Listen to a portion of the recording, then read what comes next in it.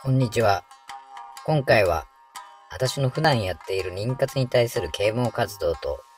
妊活情報が不足している現状をお話していこうと思います。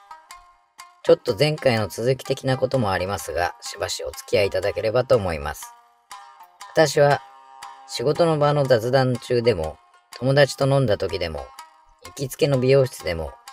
どこでも自分は不妊治療の経験者だということを、ちょっと自慢げに話をします。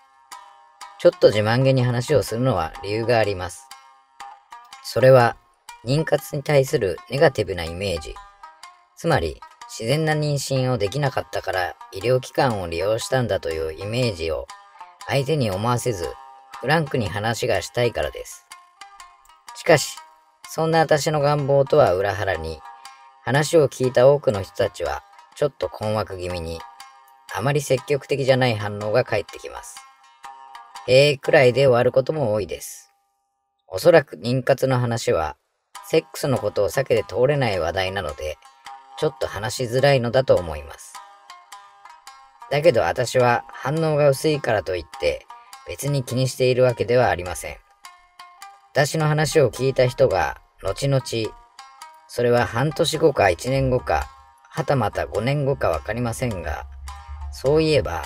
私が不妊治療を経験していたな、妊活に詳しかったな、と思い出してくれると良いなと思っているからです。実際に自分自身が妊活に入った途端に、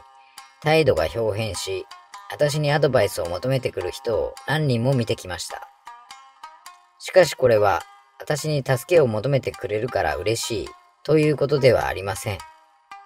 逆に悲しむべきことだと思っています。つまり、私に頼るしかないということだからです。昨今のネットで検索すればほとんどのことが解決する時代なのに、ネットで検索しても有益な情報が入らないということだと思います。試しにネットで妊活男で検索してみてください。精子の数を増やすサプリばっかり出てきて、まともな妊活に関する情報がないとわかるはずです。では、ツイッター検索ではどうでしょうか？やはり圧倒的に女性の投稿、もしくは女性に向けての投稿ばかりです。原因はいろいろ考えられますが、まず女性に比べて男性の妊活に対しての意識の低さは根底にあると思います。それに加えて、妊活の一過性もあると思います。つまり、人生において妊活に興味がある時期は当たり前ですが、子作りをしている時だけですね。独身の時期、また結婚していても子供が欲しくない時期は、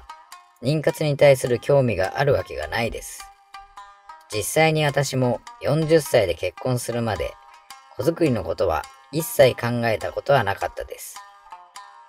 私が極端なのかもしれないですが、20代30代の独身の男性は子作りについてあまり考えないのではないでしょうか。また逆に、すでに子供が生まれた人も、また妊活に興味がなくなってしまいます。だから、妊活を真剣に考える時期というのは、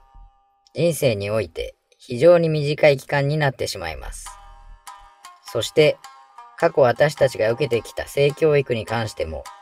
全く役に立っていないことも問題だと思います。小学生、中学生で性教育を受けたとして、妊活するのが30代、40代では、時間が経ちすぎて覚えていないし、たとえ覚えていても情報が古くなっている可能性が非常に高いです。このように、妊活というのは人生においてのある一時期のみの関心事であり、必要十分な教育も受けていないわけです。それゆえなのか、永続的に情報を提供、更新する情報源がネットにも実社会にも見当たらない。もしくはあっても目につかないということが非常に問題だと思います。妊活が自分ごとになる時期は短い。短いが人生において重大な方に入る問題だと思います。だからこそ、このような動画で情報を発信しようと思ったわけです。